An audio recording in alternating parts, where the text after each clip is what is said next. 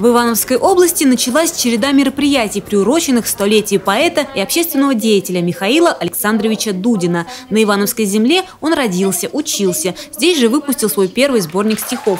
В память о земляке в колледже культуры провели конкурс чтецов. Михаил Александрович наш, этот, наш земляк, а творчество его мало известно.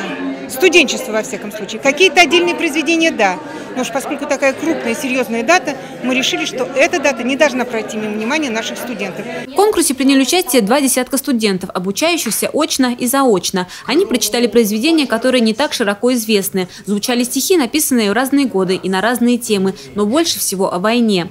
Начиная с 1939 года Михаил Дудин попал на фронт. Сначала финской, затем Великой Отечественной войны. И ужасы тех лет нашли отражение в его творчестве творчестве.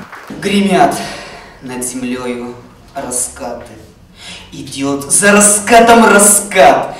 Лежат под землею солдаты, и нет безымянных солдат.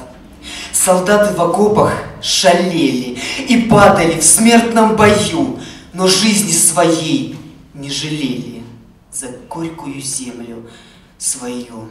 С творчеством Дудина я познакомился так, чтобы вот хорошо, это в прошлом году, тоже читал стихи его. У него есть гениальная поэма «Соловьи». Я ее когда читал, я прям плакал, то есть очень хорошая поэма, и написана в годы войны, то есть очень хорошее чувство передает. Выступление ребят оценивал строгое жюри, но следует отметить, что до финального выступления были допущены не все. Пять человек.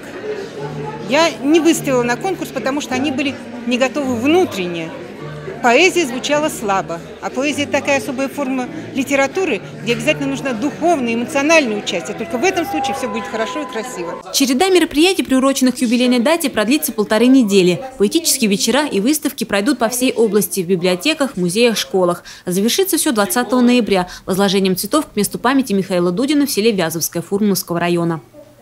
Любовь Почерникова, Денис Денисов, РТВ Иванова.